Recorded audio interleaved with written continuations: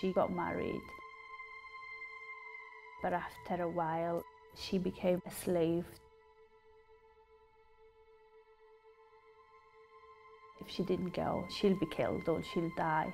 She ran away out, no shoes, with no nothing. And she nearly been crashed by a car. And then she came to claim asylum and she got referred to us. When we seen her, she didn't have no belief in herself. She didn't feel that she worth anything.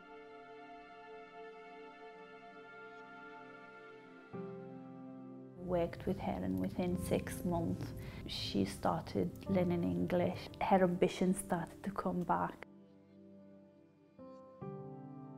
We managed to move her to her own place then. She got her asylum claim and she part of her citizenship.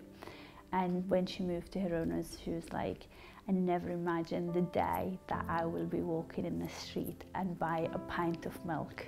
Um, and that's to her is the huge success.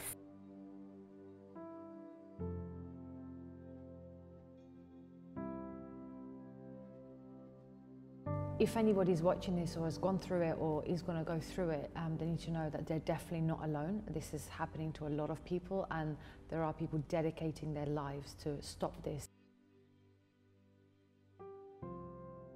A community is actually supposed to bring you closer together and collectively make a difference for the better.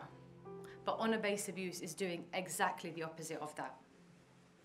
It's tearing communities apart and it's tearing families apart and it killed my sister.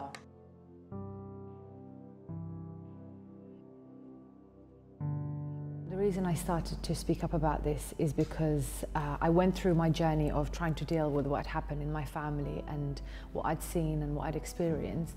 And it came to a point where I realised that it's happening to a lot of other people and I can't just continue living my life pretending it never happened. So um, I started speaking about my sister's story and I started speaking about my own experiences in order to help other people. I could never imagine having to go through such a horrible thing. And it's not just like a one, one-time thing, because like it's going to impact you for the rest of your life.